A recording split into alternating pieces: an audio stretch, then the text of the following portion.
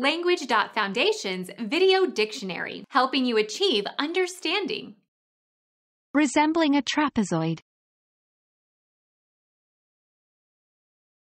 Become our student and get access to effective and free educational materials. Subscribe to our channel to become a part of our growing community and to learn English effectively.